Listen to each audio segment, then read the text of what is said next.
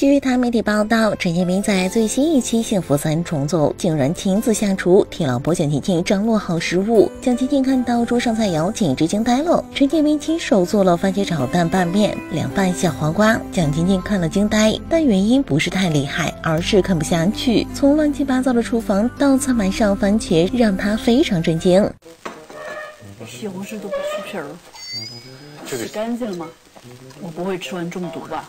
果然，陈建斌可了解老婆了。蒋勤勤说他番茄没去皮、没洗干净，他装没听到。接着，蒋勤勤说：“这西红柿切的不是，能把它炒好吗？不是，这个西红柿啊，品种不好，品种不好。”陈建斌实在理由一堆，又沉迷于自己的厨艺，猛自我夸赞：“不错，真的很好。”让蒋勤勤忍不住叹气，翻了超大的白眼。接着，陈建斌又想赖皮，不想煮晚餐，蒋勤勤直接一记狠瞪，陈建斌马上接话：“可以没问题